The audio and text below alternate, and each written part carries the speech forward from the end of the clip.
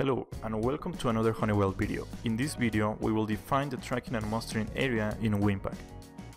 The tracking and mustering area in WIN-PAK are logical areas consisting of entrances and are used for tracking cardholder movements for a particular account.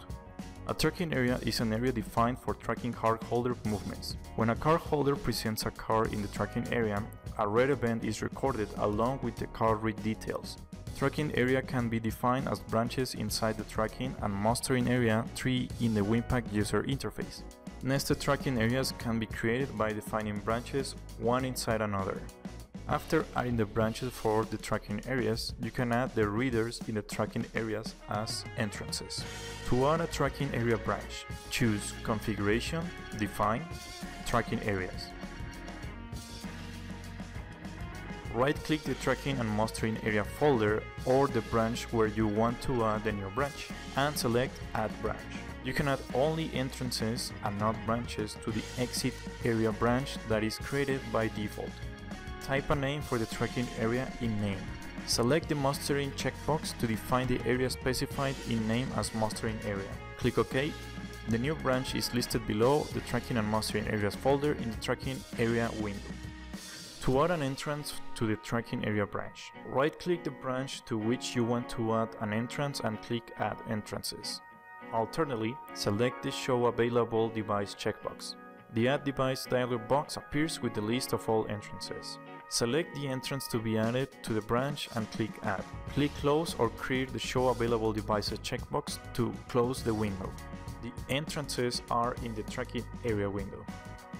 Mustering areas are logical areas defined with readers used for tracking cardholder movements in the case of emergency situations like fire.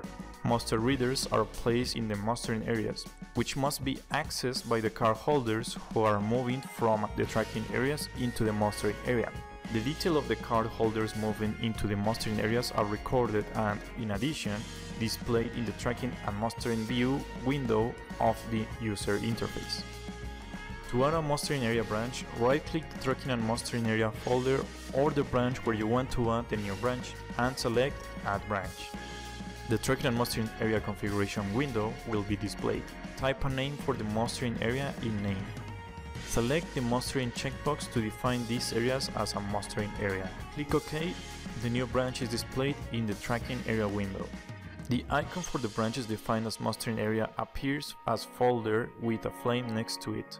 To add an entrance to a mustering area, right-click the tracking and mustering area folders or the mustering area branch to which you want to add an entrance and click Add Entrances. Alternately, select the Show Available Device checkbox. The Add Devices dialog box appears with the list of all entrances. Select the entrances to be added to the branch and click Add.